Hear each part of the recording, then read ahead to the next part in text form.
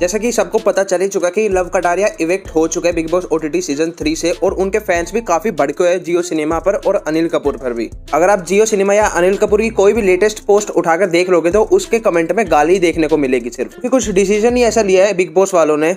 मतलब अब हद है। फिर वोटिंग करवाते ही क्यों अपने हिसाब से निकालना है तो कंटेस्टेंट को? इस पर एलविश यादव ने भी ट्वीट करा था कि वोटिंग से नहीं निकाल पाए। और साथ ही साथ अनूप चैल ने भी कुछ ऐसा कह दिया जिसे सुनकर आप शौक हो जाओगे। पहले आप वो क्लिप देख लीजिए। वही डिसीज़न ले रहे हैं।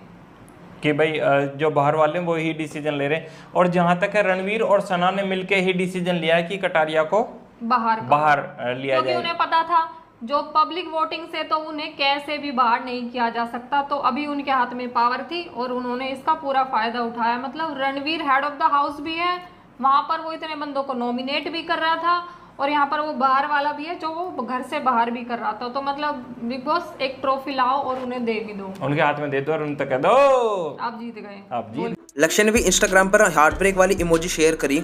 बाकी आप लव कटारिया के गेम के बारे में क्या कहना चाहोगे कमेंट करके बता देना। और असली राज का तो जब पता चलेगा जब इंटरव्यू आउट हो गए कटारिया के। बाकी छोटी छोटी अपडेट से जुड़े रहने के लिए चैनल को सब्सक्राइब कर देना और वीडियो को लाइक कर देना।